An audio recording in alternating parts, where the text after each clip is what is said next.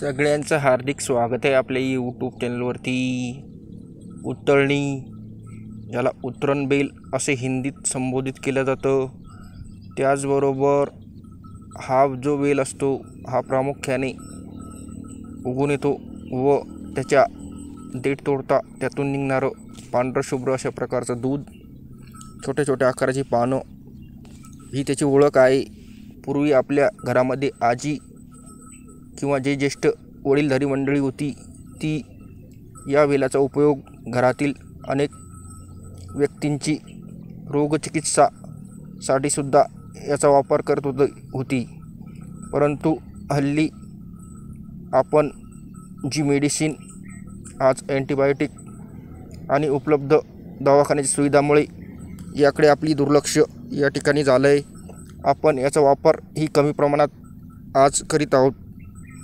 त्याचबरोबर माहिती नसल्यामुळे योग्य प्रमाणात न वापरल्यामुळे त्याचे साईड इफेक्ट जास्ती या ठिकाणी मानवी शरीरावर होत आहेत. त्याचबरोबर प्राचीन ज्या आयुर्वेदिक चिकित्साकडे आपण जी पाठ फिरवली आहे त्यामुळे याचा वापर आज दुर्मिळ झाला आहे. पावसाळ्यात अशा प्रकारची नवीन पानं या ठिकाणी येत असतात. आपल्याला जर हा व्हिडिओ आवडला व्हिडिओला लाईक कर.